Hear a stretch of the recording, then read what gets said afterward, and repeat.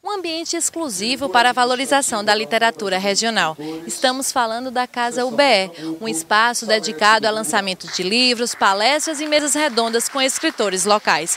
Entre os temas abordados estão Clarice Lispector e o Recife, Laços de Família, o futuro do livro e o leitor do século XXI e a influência judaica na literatura pernambucana.